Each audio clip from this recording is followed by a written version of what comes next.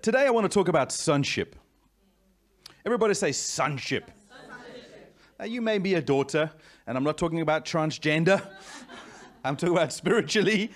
Each one of us is a son of God. If you're in Christ, you are a son of God. The question is, how do you become a son of God? Is it through is it through hard work, effort, manipulation of your behavior, reward and and and uh, uh, punishment for your actions on the outside? Is it about the cosmetics you put on your face to look like a son? Or is it by receiving the free gift of what the son did for you that makes you a son? This is the Christian. This should be the answer in Christianity.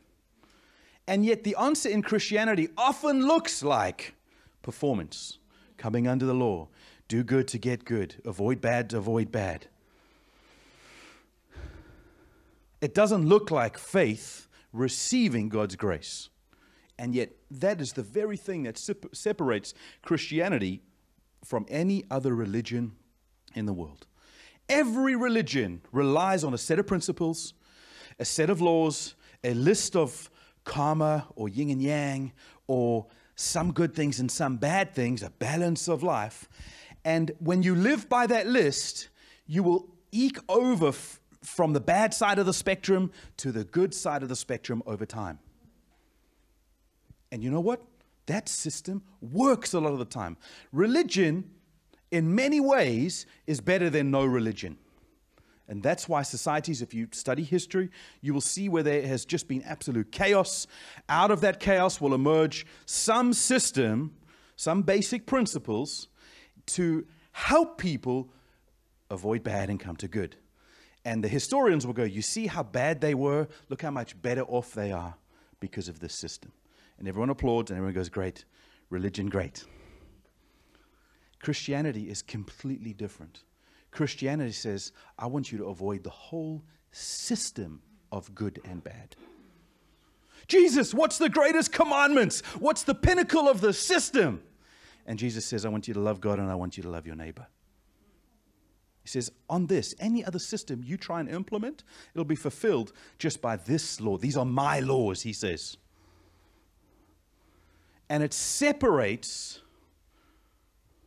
what man is able to do with what God's able to do. Because when you come into a covenant relationship with your Heavenly Father based on love, not the system, you'll overcompensate in that system every single day of the week in your sleep. And most Christians in history and on the planet today have got an element of the love of God. And then to that element of the love of God, they add back all of these basic elements, or all of these basic principles to try and prove that they know God and that they're a son of God. And the whole point of sonship has got nothing to do with your performance, it's got everything to do with your DNA and that you're connected not based on what you do, but based on who you are. Somebody say amen. amen. Sonship is not about what you do. Sonship is based about who you are and who you're connected to. And so that, that's why Esther's saying, don't look in the mirror. When you look heavenward and you see the Father, you call him the Father. Why? Because you're a son. And when you look at the Son, you see, hey, he made me just like him. And when you discover who you are, your actions and the fruit and all the things you do will catch up to who He made you to be. Amen. If you get it the wrong way around, this is what we established last week. If you get it the wrong way around, you think you come to the Father's table based on what you do. And you will always be in a debt mentality, trying to catch up, trying, to, trying for your performance to catch up with the performance of Jesus. And you never will. In fact, it's an insult to Jesus to think that. Now, when you come to the Father's table, you come based on the fact that you're a son, and then he seats you at his table because he loves you, not because of what you do. And then from the table that you're seated at in grace and in favor and in perfect love, perfect love casts out fear, from that place, then there is an outworking of that relationship of good performance, Over time, it increases in performance. But your performance will never get you to God's table. Jesus' performance got you to the table. And we're going to read some scriptures today that confirm that and look at that deeper. But today, I just want to talk about sons. About sons. So let's bring up the first scripture there, John, Romans 8, verse 14. We read this last week, so I just want to recap. Should we read it again together? For as many are led by the Spirit of God, these are the sons of God. For you did not receive the spirit of bondage again to fear, but you received the spirit of adoption by whom we cry out, Abba, Father. The Spirit Himself bears witness with our spirits that we are children of God. For the earnest expectation of creation eagerly awaits for the revealing of the sons of God. So let's go back to the previous slide. What is the bondage again to fear? We, we mentioned this briefly last week. Why is it that we did not receive the spirit of bondage again to fear? What is that? In the context of, this is Romans 8, in the context of Romans 7, Paul is laboring the idea that man under sin has flesh that is weak. And the flesh that's weak cannot perform the law perfectly. And so he says, Whilst my flesh is, is weak, my spirit is willing. So in my mind, the law of God, the Mosaic law, comes to my mind and says, Hey, you know right from wrong. You should fulfill right from wrong. And his mind responds, going, Yes, God, I really want to do the right thing here. And then his body, full of sin, under the bondage of sin, can't do what his mind tells him to do. And he ends Romans 7 with, What a wretched man I am. He sees that his situation is helpless by his own effort. Because whilst he really, really, really, really, really wants to come out of the bondage of sin, he can't. He knows he can't. And if anybody knew he can't, it's Paul. You think you work hard. Just take your best day where you work the hardest. And let's compare that to the day, the average day Paul had. He was getting letters from Jewish leaders to go and kill Christians. And they would go and watch them being stoned. Stephen was stoned in front of him. This guy was of such renown. When they were stoning Stephen, because he was preaching the gospel, they were throwing their coats at Paul's feet. That's how hard this guy worked. This is how much his performance tried to match up to the law. He was so zealous. He says, There was no one, Paul says in Philippians 3, he says, Amongst my peers, I had no equal. He was a far ahead anybody else who was studying the scriptures and trying to live righteously. He says, As, uh, as to religious righteousness, I was perfect. I was zealous for the law. And so when Romans 7 comes along, he is struggling through what it was like not being a son of God. And he's saying, The law, the Mosaic law, came to my mind. I recognized it. I recognized right and wrong. I agreed with it, but I couldn't perform it because I was under sin. Now, some people read Romans 7 and say, that's for the Christian. You see, the Christian has a sin nature, and a Christian has to struggle and war against their flesh. That's not what Paul was saying in Romans 7. He was saying before he was saved, he was a wretched man who recognized the law but couldn't perform it. And then he says, Who will save me? And then he says, Thank God for Jesus. And then Romans 8 begins. Now, meaning there was a before, Romans 7. Now, therefore, there is no condemnation for those in Christ Jesus. What that means is there is condemnation for those outside of Christ Jesus. Because those outside of Christ Jesus might recognize the law, they might recognize their behavior, and they will recognize how wretched they are. But once you come to Christ, there is no more condemnation. And once you come to Christ, you're made a son, and you did not receive the spirit of bondage again to fear. What's the fear? The fear of not performing the law perfectly. Somebody say amen. I can hear it's going very quiet. Either because you know it all already and I'm uh, elaborating too much, or because it sounds strange. Either way, go and read Romans 7 and 8. You will see that Paul has the sequence out of a legalist's mindset to solve the sin problem and into the freedom of a son that allows Jesus to solve the problem on his behalf. And so that's why he doesn't receive the Spirit to make him a slave again to, to fear, but he received a spirit of adoption. What's that adoption? That adoption where he was an enemy of God, he was not a son of God, but he was brought into the family of God. And then the Spirit agrees with his spirit. For as many are led by the Spirit of God are the sons of God. The, the Spirit then agrees with his spirit Abba, Father, you're my dad. Amen. That's what takes you out of the. It's not just any old fear. It's not fear of the boogeyman under your bed. It's not fear of the tax man. It's fear of being in a performance driven mindset that you know you can't live up to. That's the fear that he's saying. God didn't make us a slave again to fear. Let's go to the next slide. A few verses later, and then it says, For the earth, for creation, is eagerly expecting the manifestation or the revealing the sons of God. Who are the sons? The people who understand that we receive sonship, we don't earn sonship. The people who've come out of the fear and the bondage of a performance mindset, thinking, do we get to eat at daddy's table today or not? Have we received enough favor? Have I done enough to get a little bit of favor? I've got favor today, but you know, if I mess up tomorrow, if I sin tomorrow, if I don't confess, if I don't forgive, then maybe He will withdraw His favor from me. Bondage. It's bondage. And so now the Mosaic law comes back to your mind, which is true and right and holy. And so you go, oh, it's true and right and holy. This, the, the law is good.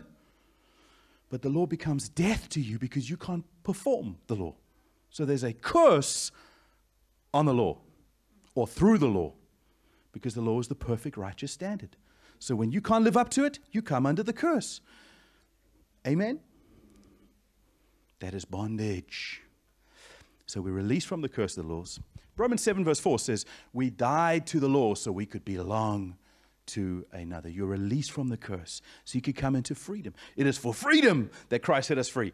What freedom? Freedom to dance in church? That's how we use the scripture. No, is freedom from the law. Okay, I'm really nailing that in. People are looking at me blankly. That's okay. Let me say this on this verse there is no operation of the kingdom outside of sonship. God's creation, which was subjected to frustration through Adam's sin, through Adam's rebellion, through man not submitting to what God was able to do and going their own way.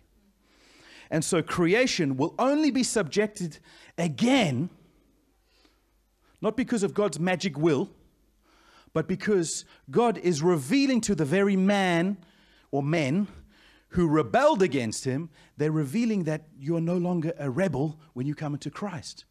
And when you receive sonship, creation goes, I'm no longer subjected to that rebellion. It is only by sonship that the manifestation of God's kingdom is operated and revealed to the earth. So let me, let me say this. To recognize a problem in the earth is very easy. Look at somebody crying, you go, oh, there's a problem. You may not understand the problem, you may not know the why, you know, may, may not know the extent of the pain, but you go, oh, here's a problem. Agreed? The solution, whenever it comes from the realm of man, will always create a bigger problem. Maybe that person crying is manip- manipulating. Maybe they're crocodile tears. Maybe the problem is too big for you to handle. Maybe it's more complex. And so when man comes in to solve the problem, he will create a bigger problem. Proverbs said picking up a, another man's problem is like picking up a dog by the ears. I've got a scar on my hand because my little dog, he caused a fight one. A little stupid little dog caused a fight with a much bigger dog. It was his fault. And the big dog started to bite him at the back of the neck. And if I didn't intervene, our dog would be dead. Which maybe standing here today, I think maybe that's a good thing.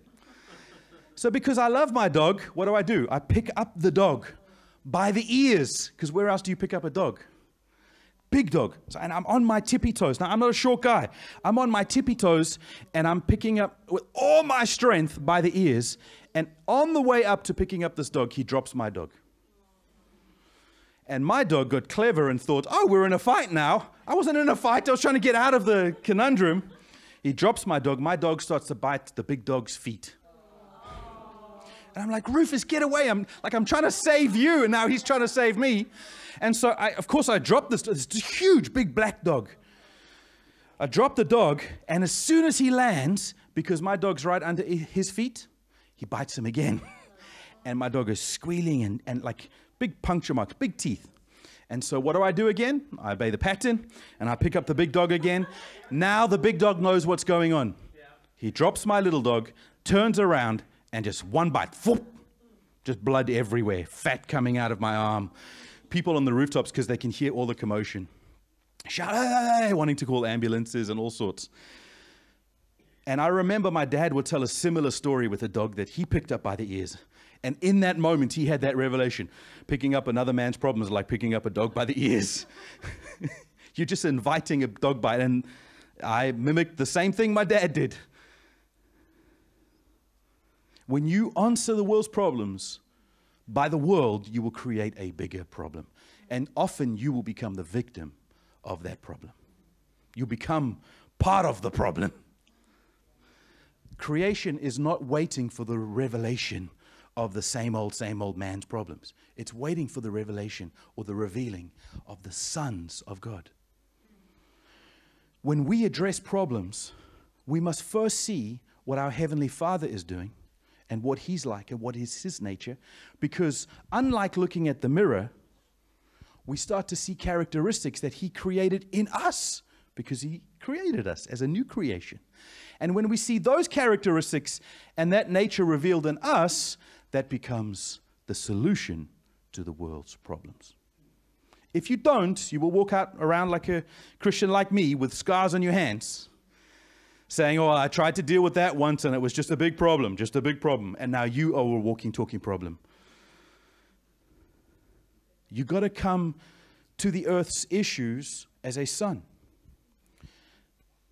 Many social justice warriors in the West, particularly in America and the UK, are approaching things that they think are so important, like global warming and the economies and, and who's doing all these bad things, whoever they deem is bad and evil.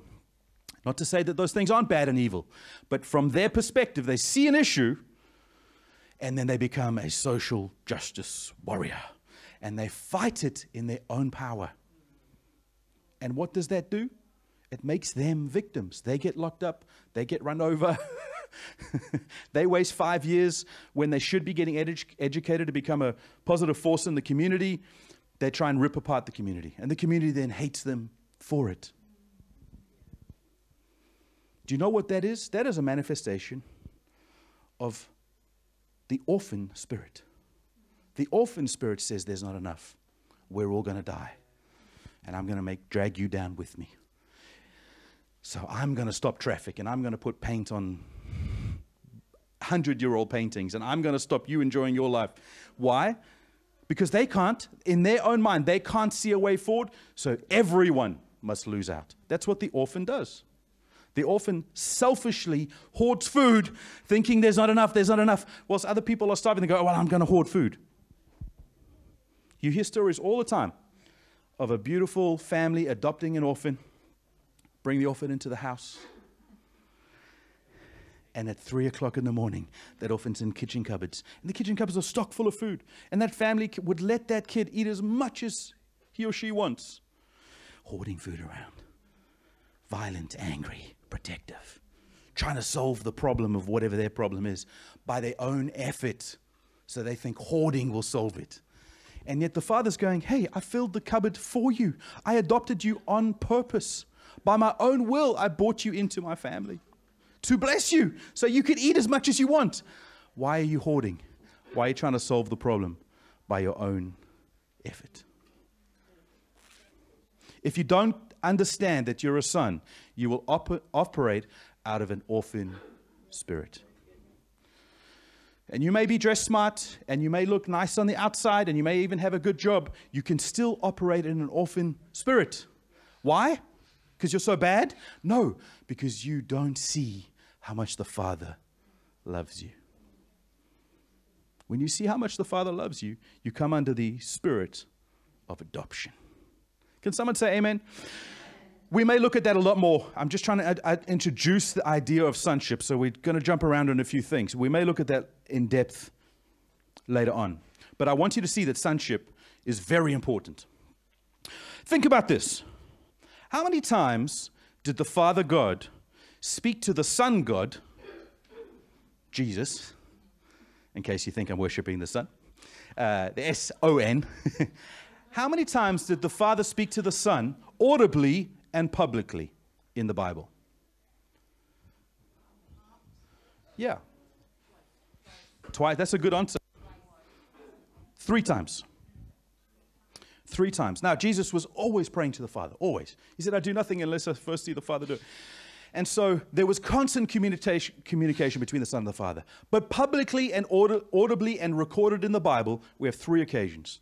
The first occasion is where Jesus said, I'm going to the cross, my time is coming. Uh, in fact, he didn't say, My time is coming. He said, This hour is here, and I'm coming to this hour. Jesus was not subject to the times, the times were subject to him. So the Son decided to give up his life. The Son decided when that would happen. He didn't allow the world to decide how it was going to happen. He decided it was going to happen. It was part of his plan and his Father's plan. So the, the, the hour that Jesus is coming to says, Father, glorify your name. Voice comes from heaven. I have glorified it and I will glorify it. Some people go, Is that God? Is that an angel? Is it thunder? We, we don't know what's going on. There was such a stranger to the voice of God. But Jesus knew exactly that voice. That's one of the occasions. The first occasion that the voice the Father came, the voice of the Father came from heaven to the Son was when he was baptized. And the Son goes down into the water and as he comes up out of the water, Holy Spirit comes down in the form of a dove, and a voice comes from heaven says, This is my son, whom I love, and I'm and in whom I'm well pleased. This is my son. He didn't say, This is your Messiah.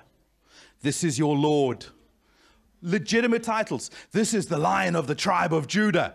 Legitimate title. Great title. Hey, that would have been powerful. This is the King of Kings. What did he say? This is my son. The second time, or the other time, third time, I'm doing a Rob now. the third time that the voice, the Father spoke about the Son was when they were on the Mount of Transfiguration. And there's three voices there's Moses, there's Elijah, and there's Jesus. And the voice comes from heaven and says, This is my prophet. Listen to him. No. This is a, a greater manifestation of the building of the house of God than of Moses. This is a greater servant than Moses. No. He says, This is my son. Listen to him. And the other two voices, or characters, disappeared. When the Father looked at Jesus, he did not see the King of Kings, although that it was true. When the Father looked at Jesus, he didn't see the lion of the tribe of the Judah. He didn't see a teacher. He didn't see a prophet. What did he see? The Father saw the Son. And so when the Father looked at the prophet, Elijah, and he looked at the, the, the house that he built in, in Israel, Moses, that's what uh, Hebrews 3 says. He says, Moses was faithful as a servant in God's house, but the Son is over God's house. He did not look at those two things and go, That's what I'm proud of. That's what I want everyone to listen to the prophet and, and the lawgiver. He said, This is my Son. Listen to him. Unless you see the Son, you will not see what the Father is looking at Unless you see the Son, you will not see what the Father is looking at. Let's bring up Hebrews 1. In the past, God spoke to our ancestors through the prophets at many times and in various ways. God is not limited by one way to speak. And so he used all of those ways to speak to Jews and even people outside of the Jews. But in these last days, he has spoken to us by his Son, whom he appointed heir of all things, and through whom has also made the universe. So Jesus was there at the beginning. There was nothing created that was not created through the Son. And so when earth went into a complete rebellion against the Father, it was only the Son that could rectify that problem. And so he had to speak to him. He tried prophets and he tried lawgivers and he tried other elements to speak to these rebellious people. But then he sent his Son to speak to his people. Let's bring up the next verse there.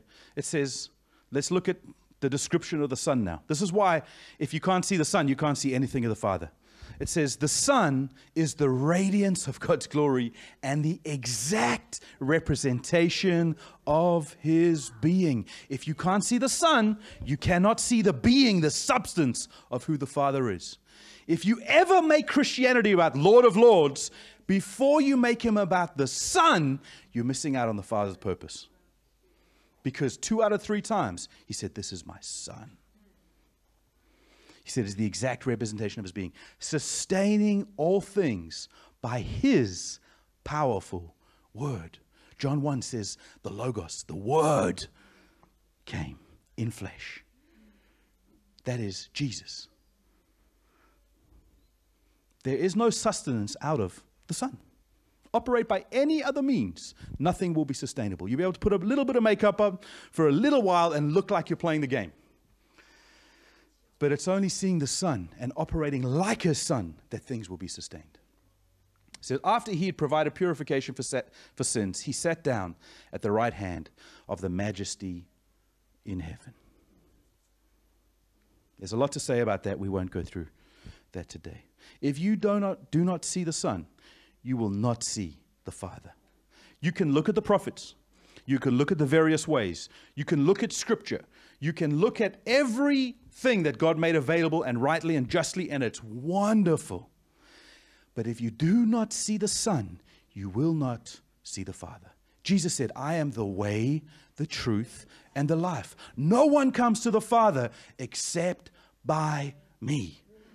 In another place, he said, You search the scriptures for me. And yet I am standing right in front of you. Here I am. I'm the Son. I'm the one all the scriptures spoke about. They would not accept the Son. And Jesus said, You won't accept the Son because you've never really accepted the Father. He said, There's a judgment waiting for you. Or the judgment from the devil. He says, No, no, no. The judgment is from Moses because Moses believed in me. And you won't even believe Moses when he talks about me.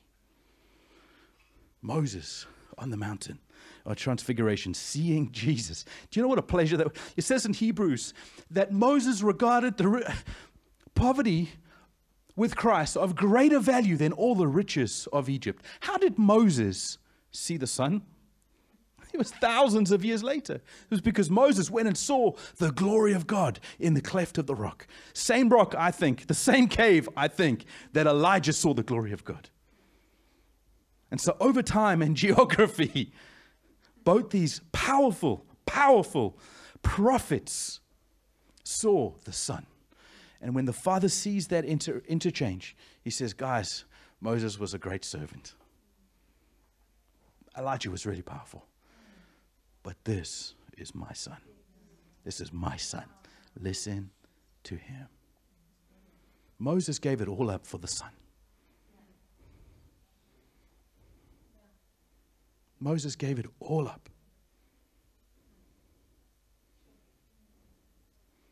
And so many people are trying to go back to Moses. And Jesus said, Here I am. You search, you're searching for me. Here I am. Moses found me. Moses enter into the promised land, not the promised land of, uh, of Israel. He entered the promised land of seeing the son. When Moses said, Show me your glory, he wasn't talking about white light, talking about the Son. That's the glory. If you do not see the Son, there is no operation in the kingdom that you can manifest. You must see the Son.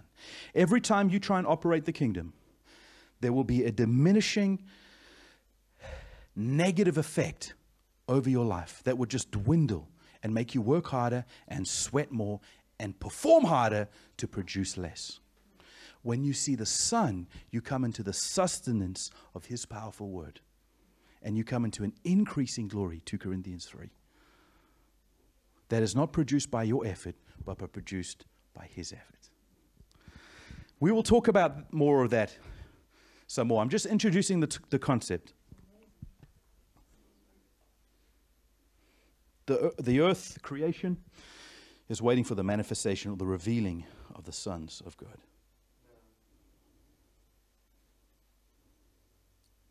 As I've been studying for this message, I've just been so blessed looking at the Son. It's very hard to study Jesus without becoming emotional. Um, I've realized in my own life, you know, I look at the scriptures, I study it, I love David, and I love looking at the contrast with Saul, and I love Genesis, the intricacies, I love the genealogies. Man, I love Paul's letters, just the, the, the truth that he brings out of the gospel. Br- brilliant. But I've realized in studying the Son, I've missed out on some of the Son. And I'm going, God, I just want to look at more at Jesus, both in the scripture and personally. I encourage you to do the same. Look at the Son. Look at this. It's good to look at Moses, good look Elijah. Those are good characters, man. They're so wonderful, they're so powerful. But that's not what the Father's looking at. He's looking at the Son.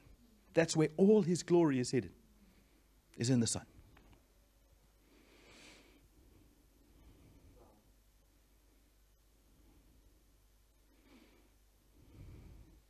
Okay. Matthew 16. Oh, hallelujah.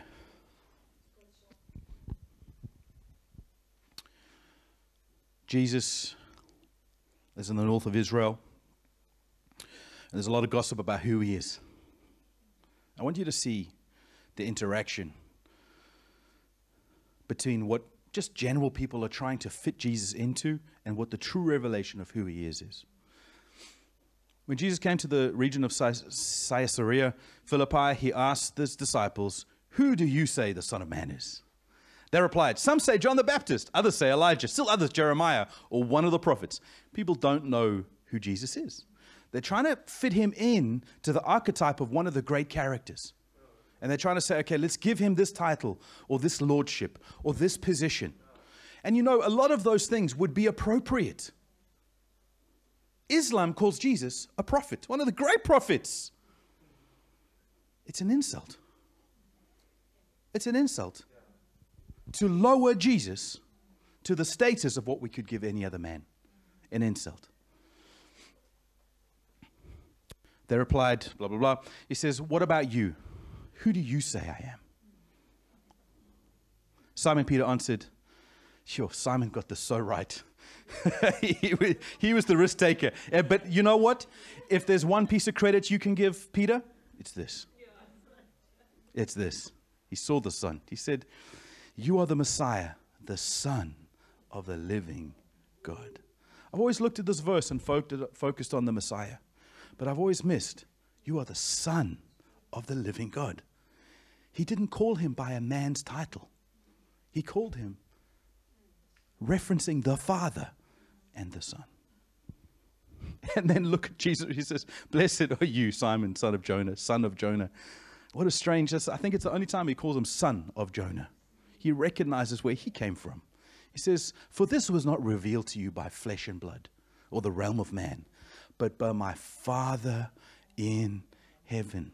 You can only recognize the Son by the Father helping you to recognize. And I tell you that you are Peter, on this rock I'll build my church, and the gates of hell will not overcome it. And I will give you the keys of the kingdom of heaven. There is no operation of the kingdom outside of recognizing the Son. And whatever you bind on earth will be bound in heaven, and whatever you loose on earth will be loosed in heaven. Why is that degree of authority available? Not because of the prophet, not because of the King of Kings, not because he's rabbi, but because he's the Son. And when you operate as a son, you get such divine authority. Do you know that when God created the earth, he put everything in place. He put all the systems and he blessed them and he favored them and he put all the biology and, and chemistry together and he made animals and the oceans and sun and he set everything in order. And once it was perfect, he said, So good. This is good. He created man, whom he called very good. And then he put man in authority over creation. And it was that Adam operated as the boss of the planet, as God's son. The first created human on the planet, he gave the keys to the planet. And so I love it that Adam's responsibility was to name the animals, and he called them forth, a little bit like uh, uh, um, Noah bringing the, the animals into the ark. He called forth the animals and he gave them a name. Now, in Judaism, a name is more than just your title, it's also part of your nature. And so I like to think, I don't know if this is true, and I've heard this from several different people. When Adam named the animals, he wasn't just calling them zebra, he was also giving them some characteristics. You'll be frosts and black and white, and you'll run in the plains, and you'll go in this place. I like to think that Adam was part of the creative process. And you know that you and I, when we operate in our t- sonship and we receive the authority, we are authorized to author our destinies. We are authorized to author how the planet comes out from the frustration of that rebellion and into the freedom of the sons of God. See, when you're an orphan, you are a victim of your circumstance. You're a victim of poverty. You're a victim of lack. You're a victim of abuse. But when you come to be a son, you are empowered with the keys to open up the pantry, to say to the abuser, no. What will take you out of abuse quicker than any psychology and any self help book and any prayer and any prophecy? What will take you out of abuse is seeing that you're a son. And you go, You can't treat me this way. I am a son of the living God. That's authority to author how your life, you want your life to be. An orphan will always be a victim. Always. I've worked with orphans, I've employed orphans, and I mean physically, mommy or daddy or both died, and that psychology has played with them, and they'll come into my environment, and I know who I am, and I know my relationship with other people, which is generous and loving and kind and spacious. And I'll have an orphan come and work with me. And they will hoard and play little silo games and uh, tell you this piece of information and tell that piece that person this piece of information and play one against the other and it's always difficult it's never open why because they feel like they're victims they feel afraid they're not honest with you they're not straight with you if they make a mistake you will never find it You'll find the mess in three years' time. Why? Because they're orphans. You know what a son does? A son says, Oh man, I messed that up. Just tells everybody, I messed that thing up. Why? Because their, their position is not based on their performance. They know they're accepted even with their mistakes. So when you come under sonship, that will stop you living in fear. It'll take you out of that bondage. People won't be able to bully you. Because you'll go, you, You're not allowed to bully me. I'm a son. Not arrogant, not my rights, my rights, my rights, but he gives me the right to not be abused. I'm a son.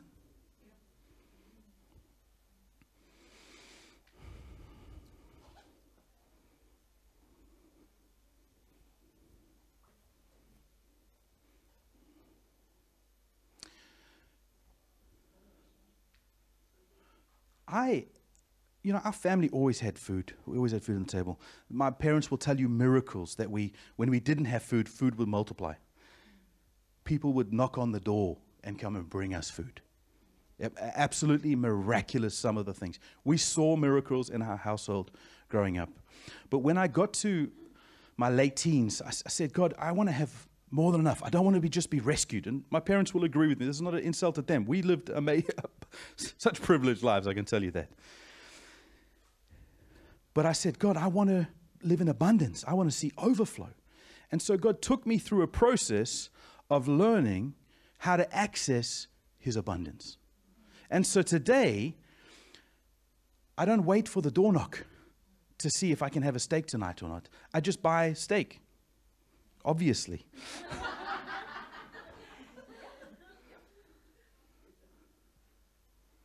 and as, yeah, yeah, too prosperous, huh? God needs to cut up. Well, my point, my point isn't really about money.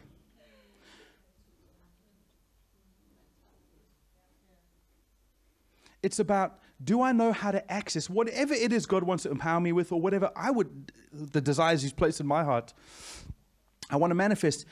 I could stay in that position where I'm waiting for the door knock, or I could go, Father, I see this by revelation. Teach me.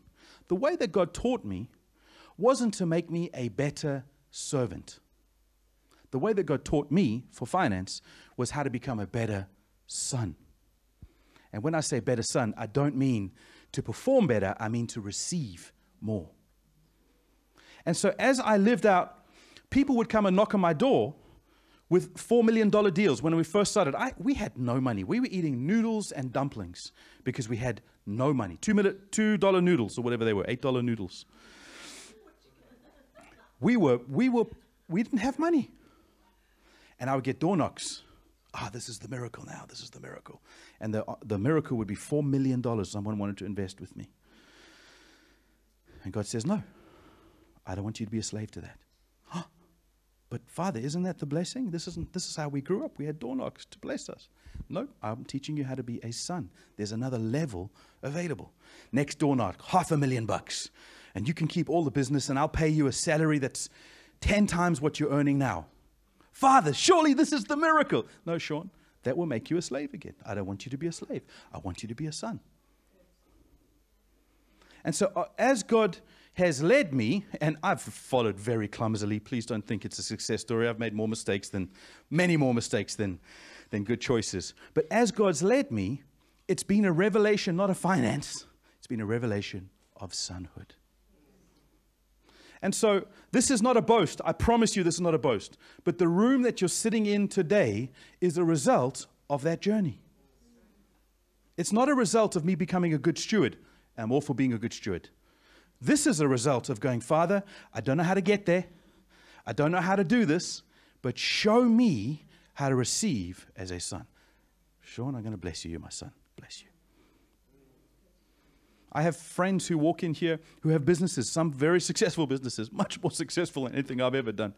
And they'll come in and go, Wow, this is so great. You can't find this in Saikung. This is unheard of. And in my mind, I go, You have no idea.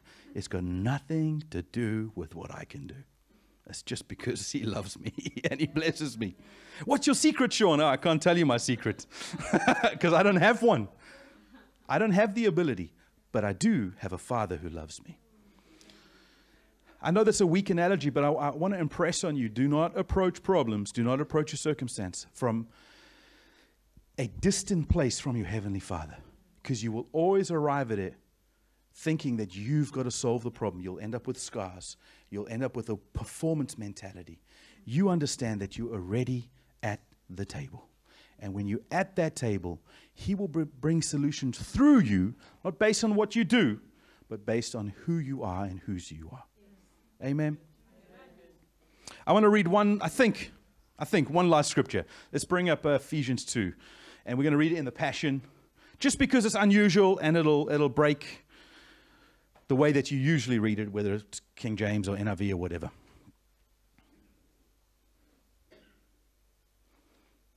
Ephesians 1, at least in my interpretation, is all about what God does.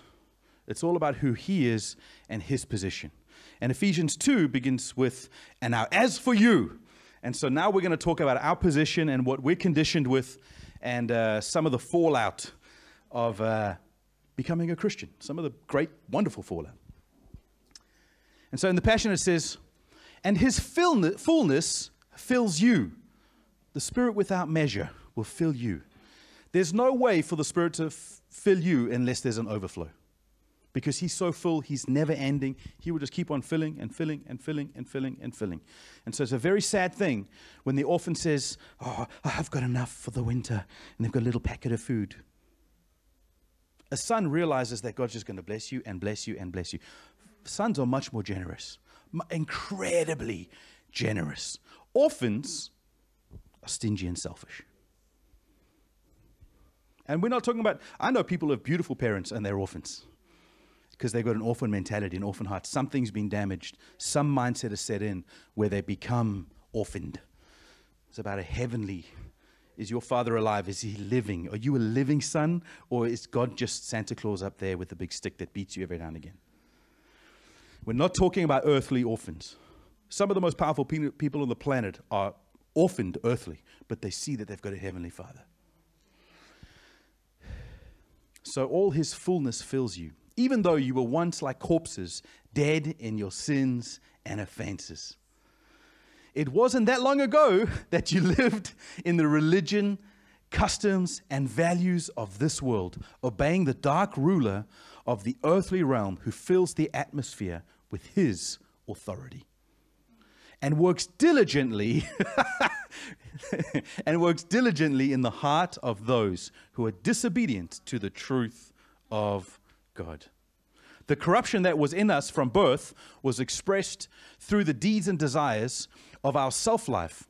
We lived by whatever natural cravings and thoughts our minds dictated, living as rebellious children to God, subject to God's wrath like everybody else. Outside of Christ, there is a wrath of God. But God still loved us with such a great love. He is also rich in compassion and mercy.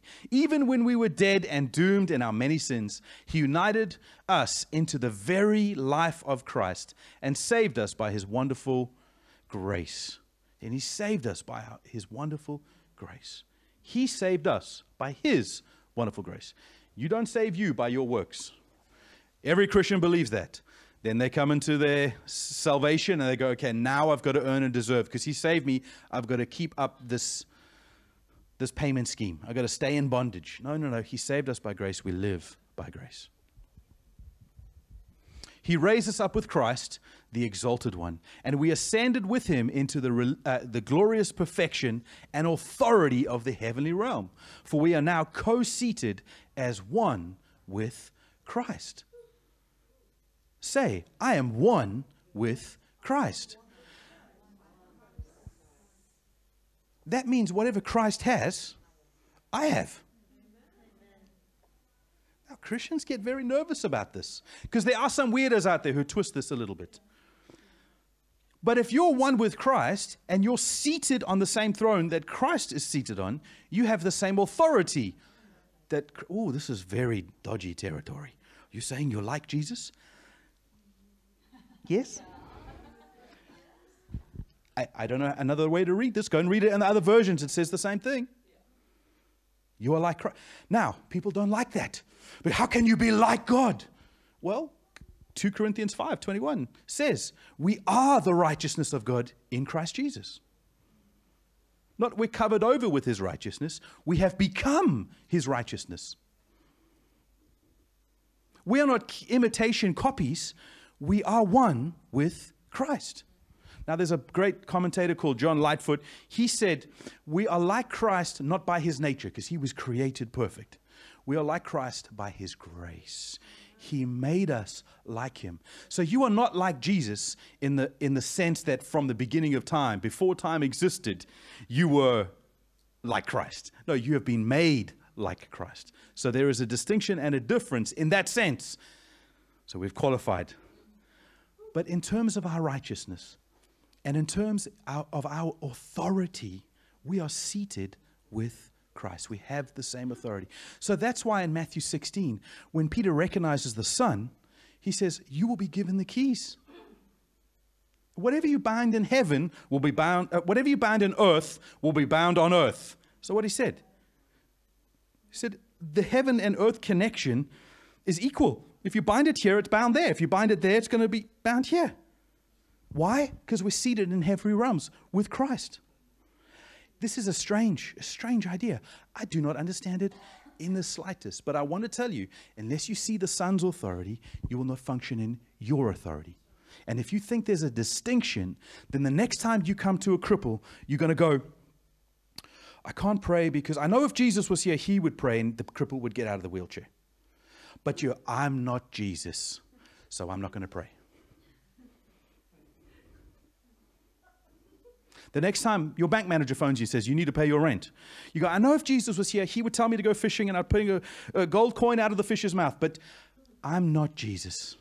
So I'm going to become a victim of this circumstance and say, lock me up, put me in prison.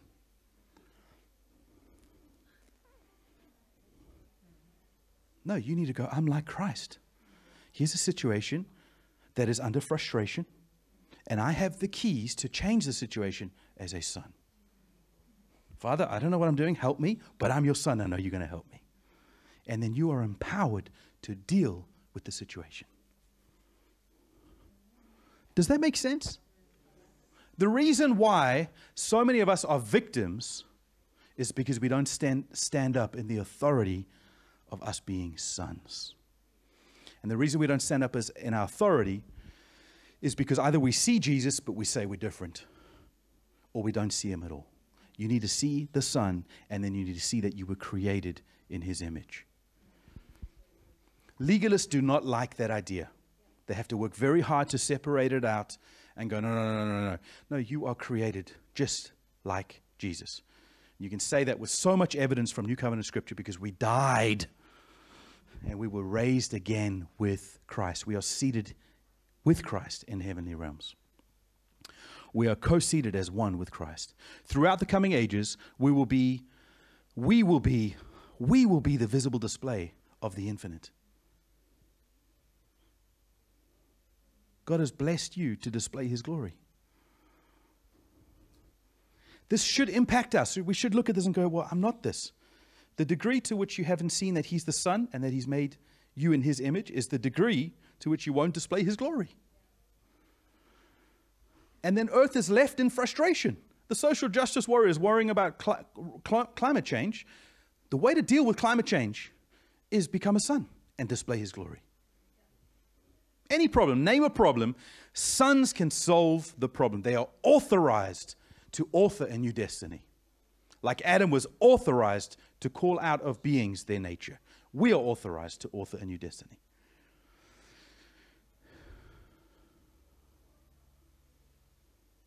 It's different going to a slave and saying, hey, here's a problem. The slave has to go, uh, could you hold on one second? Let me go and speak to my boss. They go to the boss and say, okay, boss, here's what they said. Do you want blue or red? The boss says, I'm not sure. Um, maybe we should look at different options. Uh, the boss isn't sure. He'd look at different options. Well, have you thought about, okay, just hold on one second. Let me go and speak to my boss. Um, that's how some Christians treat the Father in heaven. Father, what should I wear today? Should I do this or this?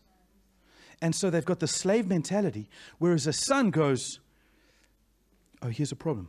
I know my father. I know what he would do. It's not that they don't have a relation and they don't talk about it's because they've got such a good relationship with their father and they're displaying his glory that they just step into the problem and they're authorized to solve the problem. And the more time you spend with your father, the more you know what he likes. And so you can produce solutions and solve the frustration on the planet as a son. Every time someone was sick came to Jesus, Jesus didn't turn around and say, Hold on, let me just, Father in heaven, how would you deal with this? He says, I, I do nothing unless I see my Father do. People just came up to him, power, just said this thing, reacted this way, got a whip out, kicked over tables. He did whatever his Father would do. But he didn't turn around and ask for permission every time there was a decision to be made. He knew he already had the keys. He was so confident of the keys, he says, I'm not going to give my life over. I mean, you're not going to take my life. I'm going to give it over. And only when I give it over will it be taken. I can call down 12,000 angels, 12 legions, or whatever it is. He had, he knew he had the authority. He did not have to ask for the authority. He already had it. The moment he came out of the water, this is my son, whom I love, with whom I am well pleased. He, I have the authority. That love authorizes me. When I go home, even though I haven't lived at home for decades, I can go into my mom's fridge and pull out anything I want. Why? Because I'm her son. And your heavenly father has a fridge full of goodies. And most Christians will not open up the fridge because they're waiting to ask for permission to solve the problem. It is a slave, it is an orphan mindset. God has empowered you, He has blessed you, He has favored you. I'm not saying don't pray. I'm not saying don't ask. Not what I'm saying. I'm not talking about rebellion. I'm talking about not being paralyzed by your analysis of whether and shouldn't you and trying to find six scriptures and four words so that you can then start to move. I'm talking about saying, God, I know you favored me. Let me operate as a son and not as a slave. Amen. Failure is a good thing. Failure is a good thing. It's okay to fail. Every character in the Bible failed except for Jesus. Every single one. And some of the greatest redemption and grace and compassion came from those failures. If you are worried that if your failure stops the grace of God, then you haven't read the scripture and you have not seen the Son. Step out, give it a go. You are authorized from heaven to solve problems. Solve them. We're just introducing it. We're going to go into each of these things. I know I'm jumping around. We're going to go into each of these things deeper, but I want to give you a title so you can see that this is important. Um, limited riches of his grace and kindness, which was showered upon us in Christ Jesus. For it was only through this wonderful grace that we believed in him. Nothing we did could ever earn this salvation. Can you see that? Nothing you did could earn the salvation for it was a gracious gift from the God that brought us into Christ. No one will ever be able to boast, for salvation is never a reward for good works or human striving. You could never earn or deserve it. That's what a slave thinks. Let me do better so my master will look at me favorably. No, a son knows he's favored anyway. That's why most often sons are naughties with dads, because they know the dad loves them anyway. Little bit of naughtiness is good. Next verse, I want you to see the, the way to look at this now. We have become his poetry, a recreated people that will fulfill the destiny he has given each one of us, for we are joined to Jesus, the anointed one. Even before we were born, God planned in advance our destiny and the good works we would do to fulfill it. A legalist will look at these good works and say, See, you need to do good works. No, no, no. The only reason you can do good works is because He has cre- recreated you as His poetry. He's authored you so you can become an author. He has authorized you so you are authorized to actually play a part in creation. The author decides how the book goes, not the publisher, not the reader. The author decides. God has given you the keys to author his will and destiny on the earth. That's what creation is waiting for the revealing of the sons of God. Now, do not get it mixed up and think that the good works you do earn you favor. No, the favor that you already have as a son, when he authorized you, allows you to do the good works so that you can never boast and say, Look how close I got to God by what I did. No, you boast in the Son and his good works and then you get to fulfill a journey of excitement and passion and failure because you are always accepted in the beloved. It's good to do good works. And we'll talk more about that, how God authorizes you and how God deals, it gives authority to a son to deal with issues. We'll talk about that. It's good. But never think that makes you a son. A son makes you poetry so that you can do good works. Amen. Okay, I've got some more things. We'll, we'll leave that there. Let's shut that down, John. Everybody just stand and just lift your hands and say, Thank you, Father, for your son. Thank you, Jesus, for being the best son. Thank you for being God's glory on the earth. And Jesus, let me just pray. uh, and Jesus, I thank you that you said whatever the Father has will become yours. Whatever He has is yours. And then you said, whatever is mine, I will give to you. Thank you, Jesus, that we didn't have to earn and deserve the gifts and the favor, that you earned and deserved all the gifts and the favor on our behalf, and then gave them to us by your grace. We thank you, Jesus, that when we sit on the throne in heaven, the angels can't really tell the difference between us and you. they have to look twice, like, oh, oh, that's not Jesus. because we are clothed in your glory, we are clothed in your favor. Thank you, Jesus, that we do not walk around on the planet as mere men, as mere mortals, that we walk around on the planet as people beloved by the living God, that we walk around as sons and daughters, that we walk around authorized to release the earth from frustration, to solve problems, empowered to look at things that are broken and perverted and call them into alignment with the way that you created things, Lord. Thank you for that power. Thank you for that authority. We thank you. And we thank you that that power and that authority does not make us worth your love, but that your Son made us worth your love, that you so loved us that you spilt and you placed us in heavenly realms. You spilt your blood to place us in those heavenly realms. And then from that place of love, you authorized us to do good works. We thank you. We thank you. We thank you. We thank you. Thank you, Holy Spirit that you presence yourself with us continuously.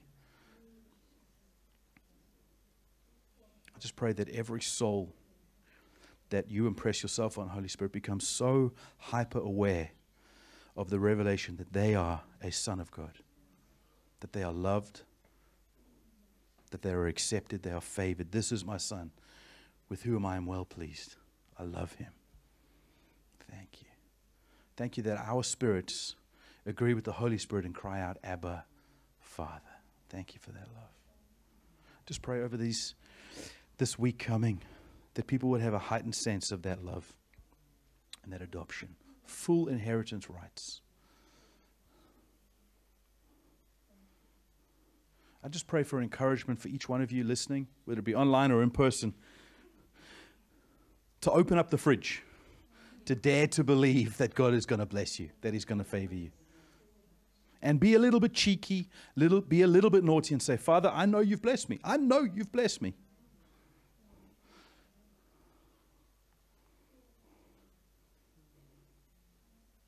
Know, when I walk into my boss's office, I knock three times, I wait for an answer, I slowly open the door, I say yes sir, no sir, very respectful.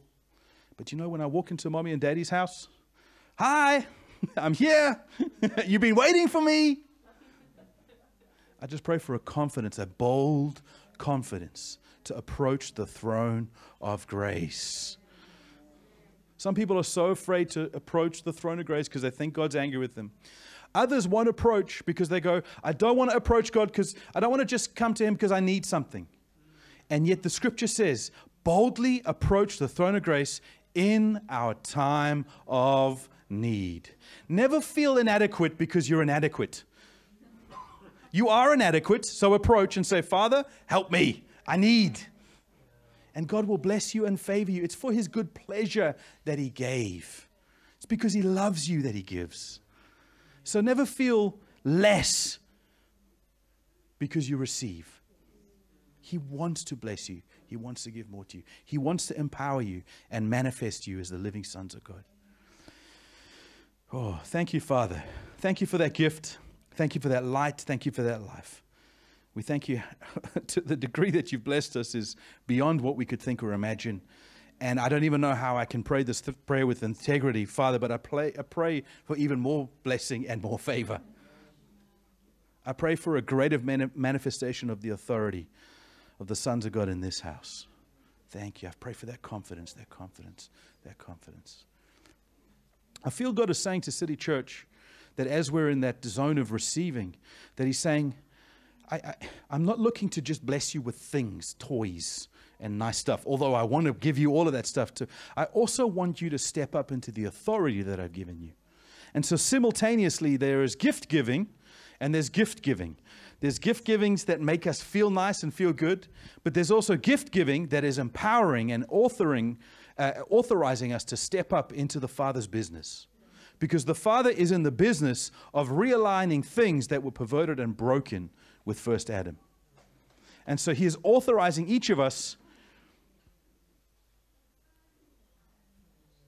to take on what Jesus took on.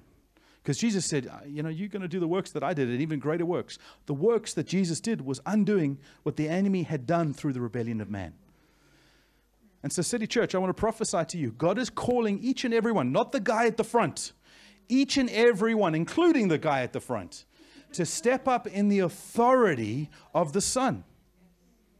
So that when you see something that is corrupt, that you can call an author it to the way that it should be. When you see sickness, you can say, That is not what my father did. Everything my father created was good, and I call it back into alignment. When you see financial lack, to not accept it as a slave and go, Well, I can't do anything about this. I'm just a little orphan. Woe is me. And then get really good with your poetry about how bad it is. But author a new chapter where God is empowering you to write a new story about that situation. That when that little weird idea comes into your brain, that business idea may be revolutionary on the planet to empower you to overcome that issue.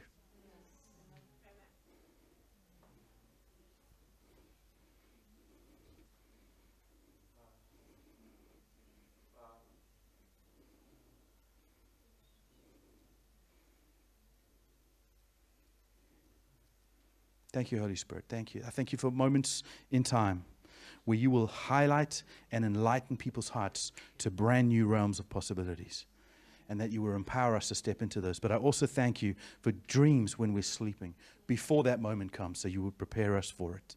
I thank you for that divine confidence that we would step up into. That sometimes we would have no idea what's coming out of our mouth and we'd be proph- prophesying live. But other times, you would have given us a prophecy that we've sat on for two years. I thank you for the color and variation in your kingdom. And I thank you for that authorization for your poets to write new chapters on the earth. And right now, as sons of God, I just want to bless Hong Kong. I want to prophesy prosperity. I want to prophesy freedom. I want to prophesy more grace and favor over the city. I know people have been reeling financially and economically, and there has been such fear in the city. And as a son, we we corporately prophesy the favor of God on Hong Kong. Father, we thank you that you have loved Hong Kong. Father, we thank you that even though things might have been difficult for a time. Your favor was never withdrawn from this beautiful place. And we continue to agree with heaven that you have blessed the gateway city of Hong Kong. Father, we thank you for China, and we pray that there is an increased blessing on China and a favor to overcome whatever difficulties China is facing. We pray for every COVID patient in China right now that they would feel an empowerment and a favor to overcome that sickness. Thank you, Father, for your grace. If there's ever a place that needed grace, it was China. Thank you for your, father, for your grace, Father. Thank you. We just command that, we command that, we command that. And Father, in your kingdom, we know your greatest desire is to see this, the, the rebellious children of the world coming into the light of your kingdom. And so the greatest prayer we can pray is to agree that we want to display your glory to those people who need you most.